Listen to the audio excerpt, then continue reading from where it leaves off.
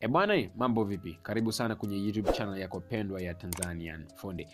Wacha tuzungumze kidogo kuhusu matumizi ya WhatsApp. Wale watumiaji wa WhatsApp wanafahamu kabisa, ukimtumia mtu message kama ameshaisoma itakuonyesha tiki nyekundu, no, tiki mbili za blue. Mfano ni huu hapa.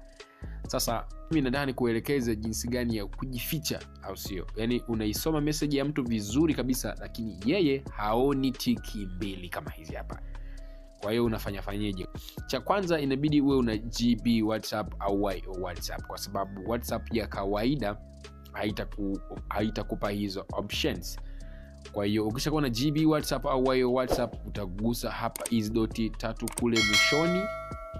Okay, wengine hajaona nikisema doti tatu za kule mwishoni namaanisha hizi huku za, za options so una click zile doti za options hapa then unaenda kwenye fm mods kama ni gb mods labda unatumia gb whatsapp au ni ni yo mods kama unatumia yo whatsapp.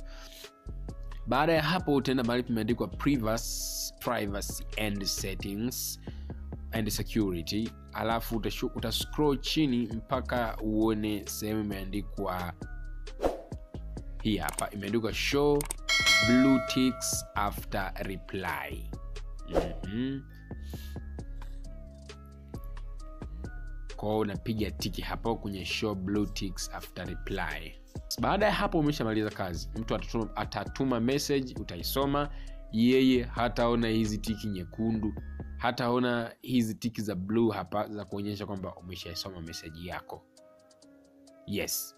Kwa hiyo bwana kuna trick nyingi sana ambazo mimi nitakuonyesha. Sio za whatsapp tu hata za simu yako vifurushi hivi na vile unachotakiwa kukifanya wewe ni kusubscribe kwenye youtube channel yetu ili usikose videos amazing.